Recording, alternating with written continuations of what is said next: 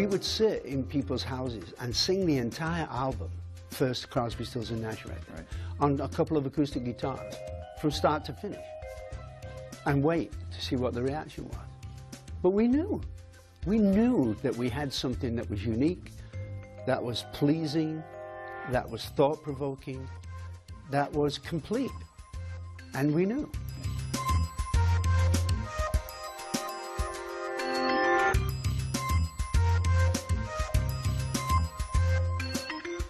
He's an officer of the Order of the British Empire, a two-time inductee into the Rock and Roll Hall of Fame, and a one-time member of one of the most politically active rock bands of all time, Crosby, Stills, Nash, and Young. Graham Nash is also a lifelong collector of photographs, a published photographer himself, and a renowned innovator in the world of digital photography. We met him in Jackson Browne's recording studio in Santa Monica, California.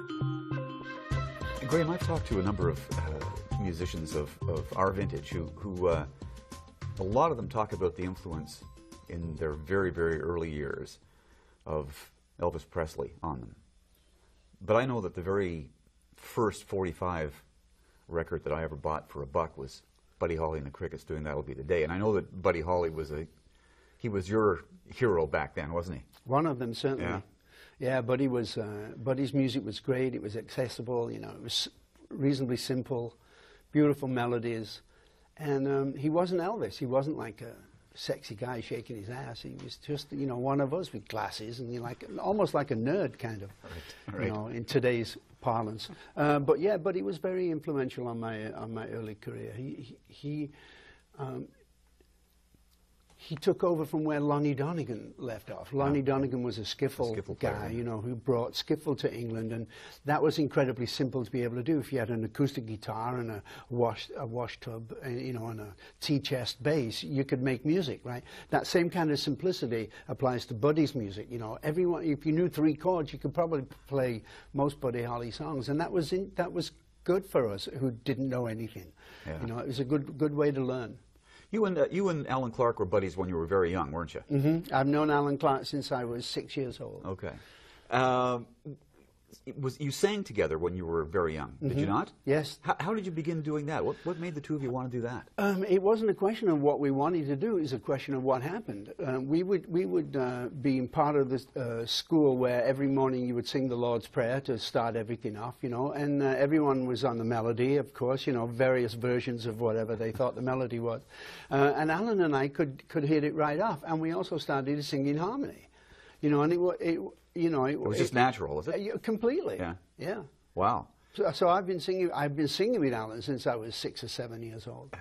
So tell me about the start of the band then. Tell me about the start of the Hollies, which is, I, I have to assume it's Buddy Holly that you were naming your band after. Um, so I don't think I've ever read that anywhere, but Uh, well, that, that's certainly part of the story, yeah. And it was Christmas also, and uh, you know, th- there's a famous English tree called the holly tree, you know, which comes out for Christmas, you know. And um, Alan and I had been singing for many years, you know, uh, kind of like in the style of the Everly Brothers, just two young kids singing together, and we were pretty good. We we we, we took off.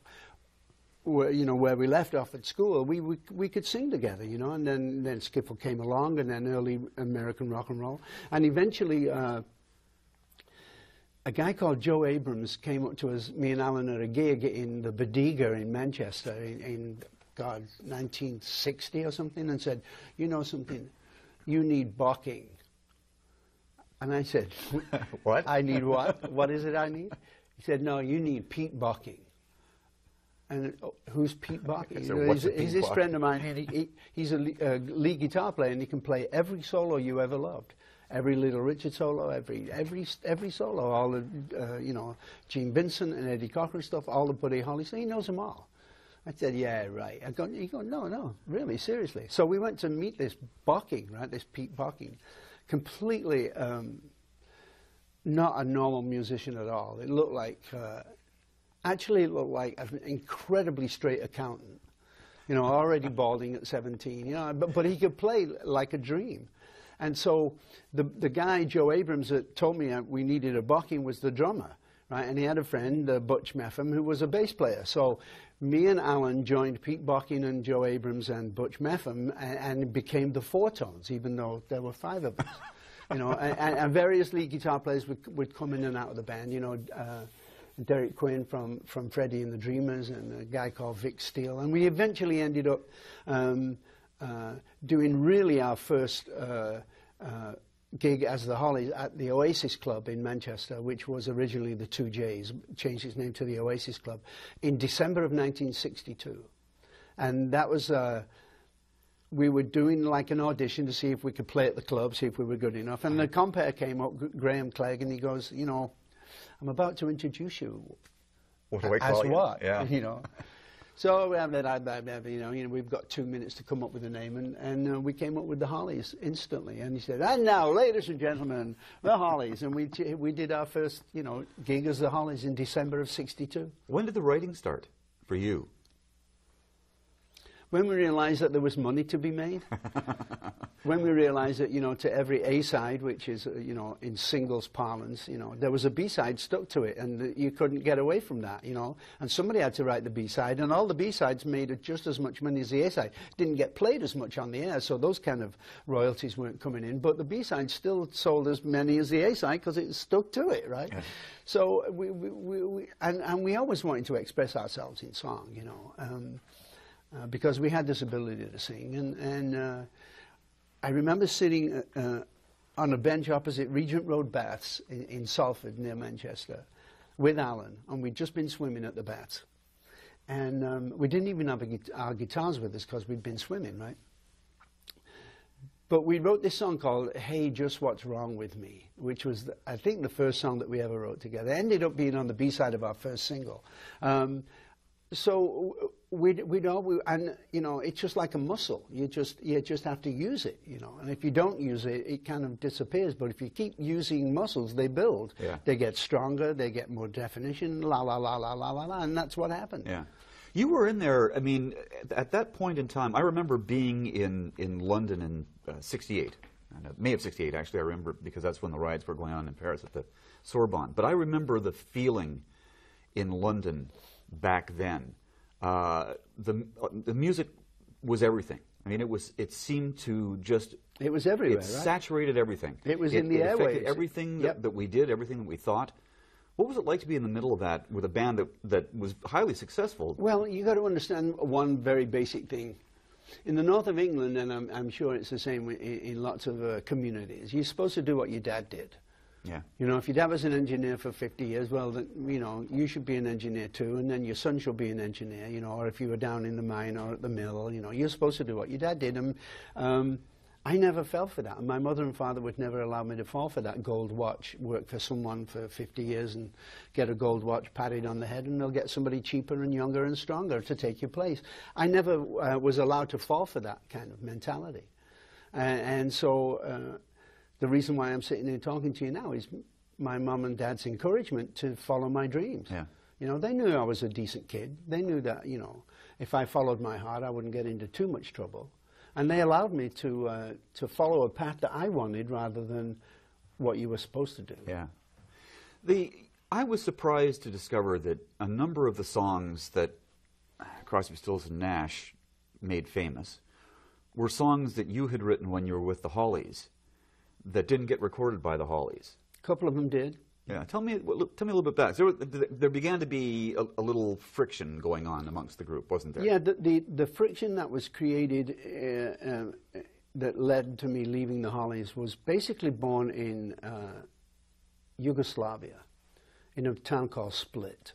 The Hollies were doing a show there, and I wrote a song um, in my lonely desperation called King Midas in Reverse decent song. I, I liked it, you know, uh, and we made a great record of it. It was really a, a, a psychedelic record. It, it, you know, it started very simply with me on the bass strings my acoustic guitar, and it ends up with a full orchestra going crazy at the end. It's a, it's, it's a crazy piece.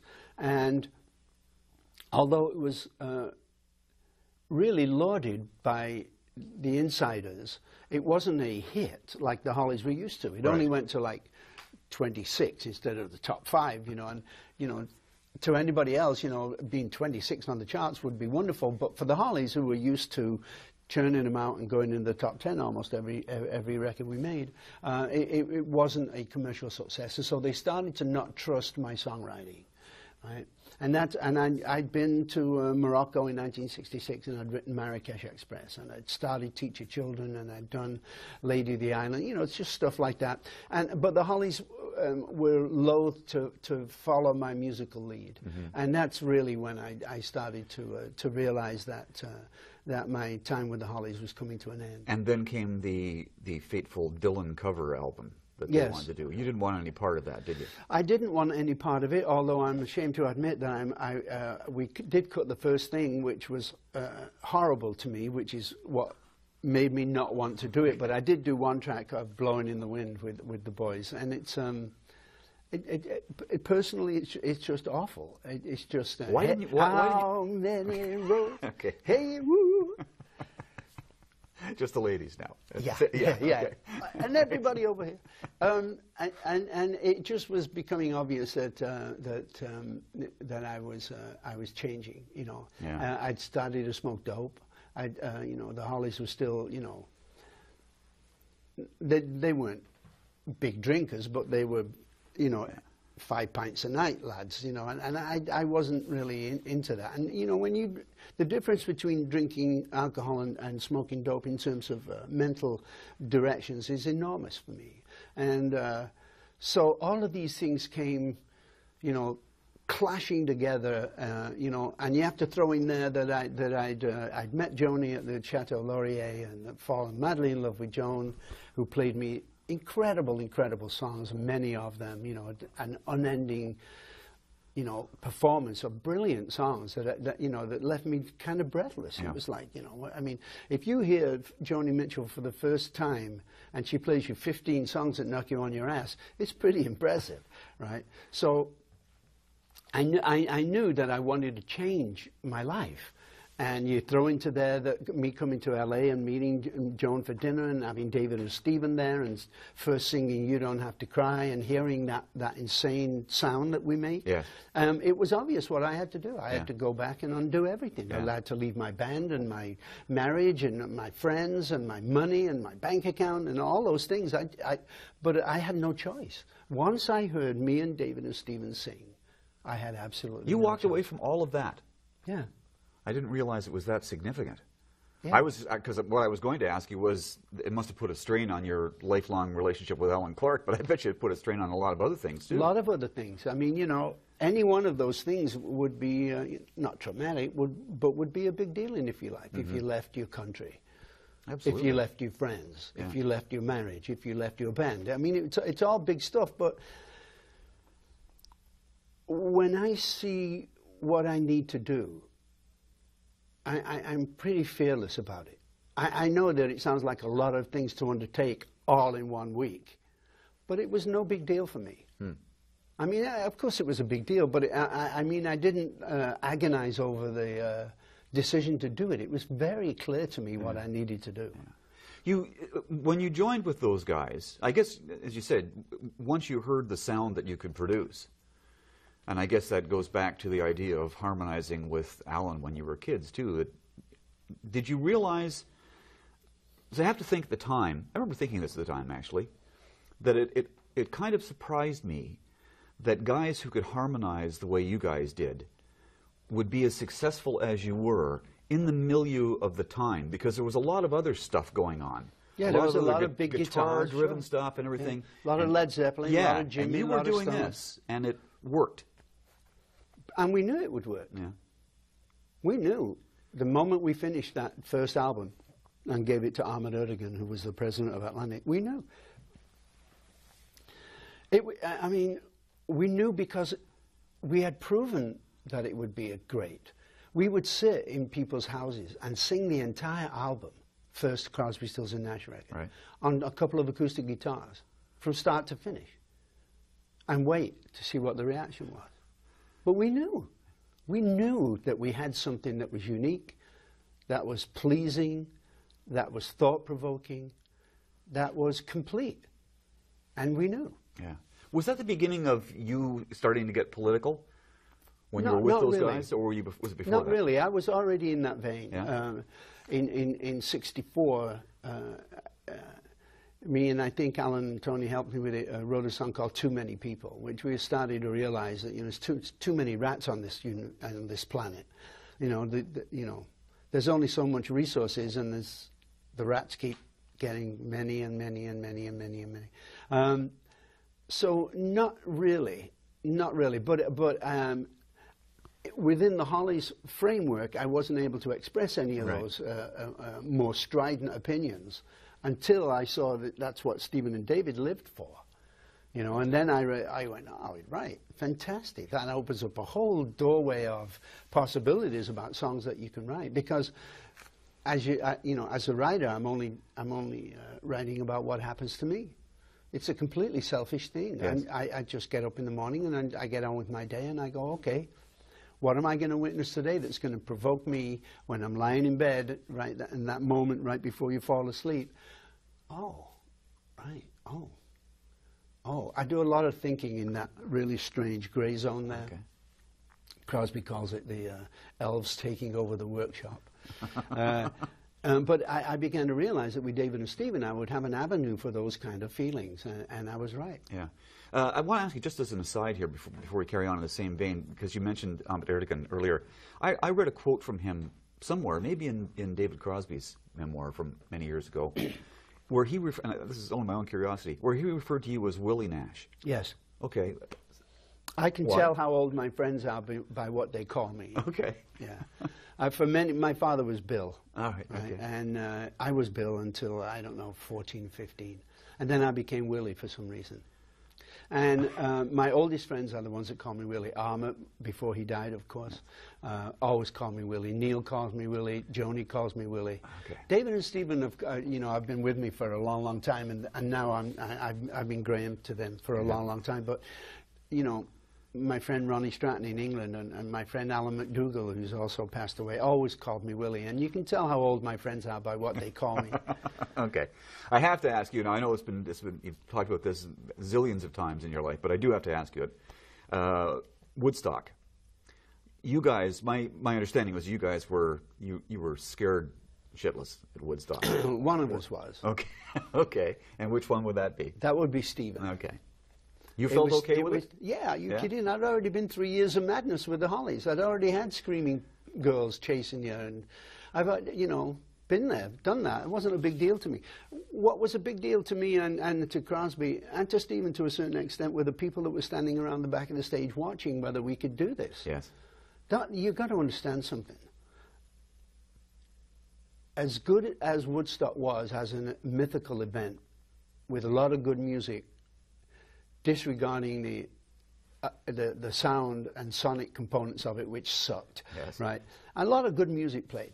That was the, only the second time in history that CSNY had ever played. It was our second gig. And you had everybody who played there standing around seeing Because they could pull wanted it to off, know right? whether Crosby, Stills, and Nash Yeah. could, could could pull this off. Because don't forget, we'd released a first record, and it was uh, you know in the charts and top there, and you know it was the album of the summer and changing people's lives, and it was in every you walk down the street and you hear it coming out of students' uh, dormitory. It, it was a big album, and a lot of people wanted to know whether we could do that. Yeah. I would have wanted to know whether we could do that. You didn't feel that pressure as much as Not at all. No, eh? Wow. no. Huh. You've always struck me too in that I mean as as the as the group went on and splintered and came back and splintered and came back and there were all That's of those one way of looking at it. all of those all of those uh, kind of internecine uh, pressures and so on. You always struck me, and I'm sure most people, as the more level-headed guy out of out of that group.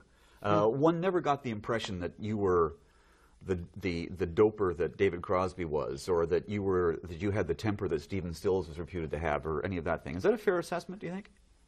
I, yeah, I guess so, and I guess it comes from having already done it for seven years with the Hollies. You know, nothing, nothing about it was a big deal to me, and I've always been a pretty um, grounded fellow. You know, I, I, I want you to have a good time in life. Time is the only thing that we have. Time and family.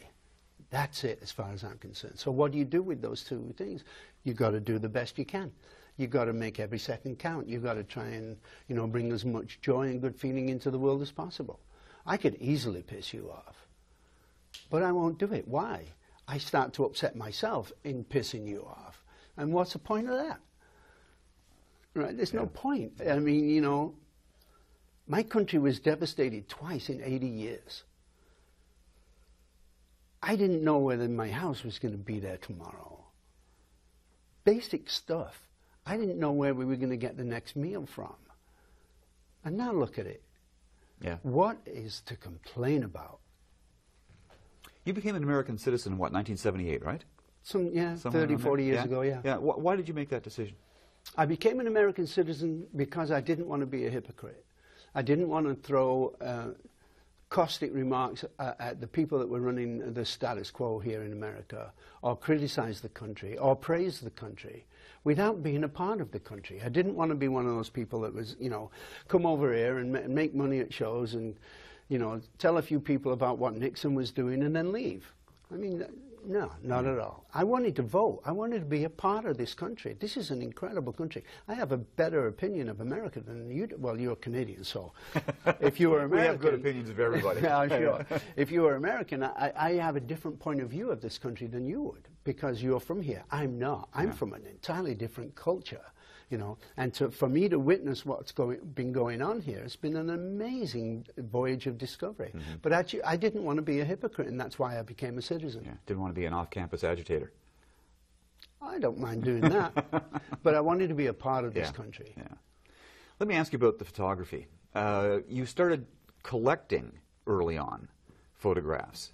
Um, did you start taking photographs yourself at the same time as you started collecting, or did one follow the other? I have a book out of my images called Eye to Eye.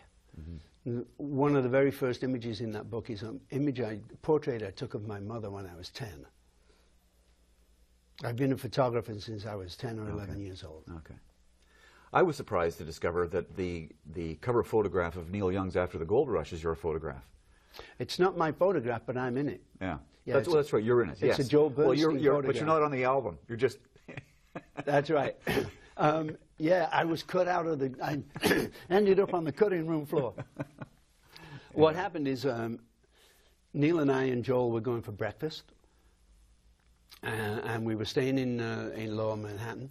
Walk around the corner, and I'm always trying to, you know, wait for Elvis to come back on the back of an elephant because he's going to come, and I want my camera w- when he does. I, I like to keep my camera, and I like to be aware of what's going on around me. And I see this tiny, tiny old lady coming on the same side of the sidewalk as we are. And I saw Joel see her. And he then comes this way, takes a picture of Neil walking by these railings as the old lady click, right? But I'm standing here in that image. I and I, I don't know why, but I have a toothbrush in my pocket. I don't know. I have no idea why. But yes, I, I, I am in that Yeah. picture. But, you know, of course, Joel isolated Neil and the old lady and the, and the railings and the brick building. And then when Neil saw that, and he'd been messing around in the darkroom trying to make it look cool and rusty and, you know, sc- you know, screwed up and stuff. And when Neil saw Joel's picture, he went, that's my cover. yeah. I think Joel was 18, 17, 18. Wow. You auctioned off your collection, your your private collection at one point, and my understanding from what I read was at the time at Sotheby's, it got the, it set the record for auctioning off a private collection of photographs. What made you decide to, to auction it off? A couple of things. I used to uh, rotate the images throughout my house in an effort to, to uh, wake up my children's brains. I collect really strange images that would, would go, wow, what? Yeah, yeah, it's not a cat, you know, playing with balls of wool. It's not kittens. it's not sunsets. It's strange images. Okay. I'd gotten all the juice out of my images that I thought that they had to teach me put that with the fact that I had uh, discovered with my friend uh, Mac Holbert a new way of printing images, which became Nash Editions, which became the digital revolution. In fact, the, the first printer that Nash Editions ever used, the 3047 Iris graphics machine, is now in the Smithsonian. I know, it's amazing. Yeah, so this thread between my father at, with me at 10 years old turning me on to the magic of photography in, in this crude darkroom, which happened to be my bedroom when I was a child, to maybe changing the history of photography in a slight way, you know, uh, as, as, witnessed by the machine being in the, in the Smithsonian. It, my father would be incredibly proud of that. I would think so. You know. Well, some of the, I mean, it, talk a little bit about that. We've only got a couple of minutes here, but I, I, do want you to address this. That the whole idea of the digital imaging that you got into for large format fine printing, because you guys really did, you were the cutting edge. And I don't think a, a whole lot of people are realize that about you. It's just part of who I am, you know. I want to push everything to the limit. I saw this machine and I looked at my friend Mac and I said, did that just happen? Did that thing that looks like a washing machine over there that's spinning at, you know, a million mile an hour and then you stop it and, and this print came out of there? Did our worlds just change? They just changed, Mac said. I bought the machine. It was $124,000. I bought it immediately. Mac and I took it down with, with a couple of friends down to, uh, to where Mac was, uh, was living in the house I owned in Manhattan Beach, which became the original workshop for Nash Editions. Mm -hmm. Voided the warranty within the first 10 minutes of having the machine. How did you do that? You cut back on the head, the printing heads or something, didn't yeah, you? Yeah, we wanted yeah. to put thicker paper, real paper through there. You know, and it was basically a machine that was printing for the proofing industry. You know, and, and you know, it's magazine stock. It's what the New York Times supplement on a Sunday is printed. You know, it's magazine. It's thin, cheap paper. You know, I want you to make sure that you know if we're going to uh, go to the trouble of printing the great image, it has to be on great paper. I mean, why, why else bother? So in, a, in an effort to, to get thicker paper through there, we had to cut off the print heads and move them back slightly, right? And there goes the warranty. And there goes the warranty. Were you a little apprehensive when you did that at first? No. I mean, that's a big chunk of change. I know, but we knew what we were doing. Yeah. They didn't think so. Iris Graphics thought we were two hippies from California. What the hell do they know about anything? Really? okay, I'm going to ask you in our last couple of minutes about you. you have just finished your, your autobiography. Mm-hmm. Um, again, I, I, I, would suggest an indication that perhaps you didn't do as many drugs as some of your compatriots did if you can remember enough to write your autobiography. Memory is a very interesting thing. You know, nobody knows where it's stored. Nobody knows, uh, you know, how much uh, capacity the brain has for, for storage, for, as a storage facility, but it's an amazing thing. And in, in many ways, one thing leads to the, to the next. You remember this that happened to you as a child, and you go, oh, yeah, I remember the next week my mother said, you know, you you can't. It's all in there. Yeah. You know. You just have to access. maybe it. you have to look through the smoke and yeah. stuff, but it's all yeah. in there. Yeah. And I had a pretty good time talking. I did. Did you? So this was done. You you did it orally. Yes. Okay. Yeah. Over what period of time? Um, probably uh, in terms of actual work, yeah. probably a few months. Yeah. But I would sit down with my friend Bob Spitz, who did the biography of the Beatles and the Bob Dylan book. Mm-hmm. Um, and because he had uh, researched uh, the Beatles' early history, he knew all about the north of England and what happened after World War II and what did these 14, 15-year-old kids do, you know, to, you know, to get their jollies off, what, you know, and then skiffle. He already knew the whole story, right. you know, so I didn't have to explain any of that to him.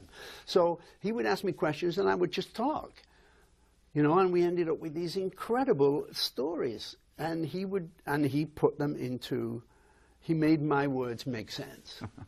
okay, then. But uh, but uh, the the one thing that I wanted with my autobiography was that I needed it to be in my voice. Yes. I needed you to think in, in reading it that I'm just sitting here talking to you. Right. Just like we're talking right now. And it's worked out that way. It's worked You're out very much that way. I'm very happy with it. And what's it called? Right now, Wild Tales. Okay, right now, but it may change before it comes out. Anything may change. All right, we've run out of time, Graham. Thanks, Willie. Thanks very much. You're very welcome. Okay. So